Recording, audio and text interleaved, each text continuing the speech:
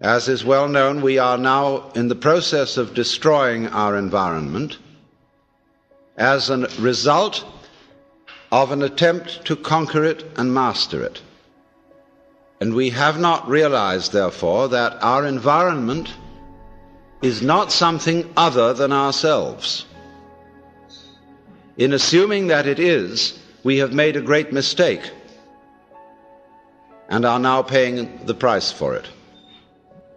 But most people would agree with the lines of the poet who said, I, a stranger and afraid, in a world I never made.